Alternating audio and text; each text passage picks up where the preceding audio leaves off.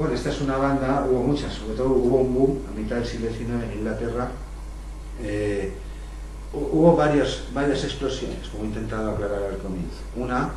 fue el, de las, bandas de metales, proliferaron por doquier. Otra fue también el diseño eh, de la trompa, es decir, basándose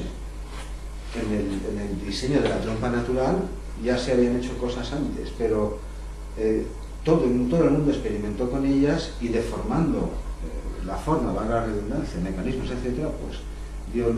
es, decir, también hubo una experimentación constante sobre el diseño básico de la trompa, que fue transformada de mil maneras diferentes. Una es la explosión en la construcción de instrumentos, otra es la de la trompa, otra es la proliferación de este tipo de formaciones, bandas, no orquestas, porque claro, son instrumentos de viento, en, sobre todo en Estados Unidos, en Inglaterra, en el norte de Europa, también es una de las más famosas, y de hecho en el caso de las familias instrumentales de sax, de las nuevas, fue una de estas familias de músicos y luthiers las que divulgaron el instrumento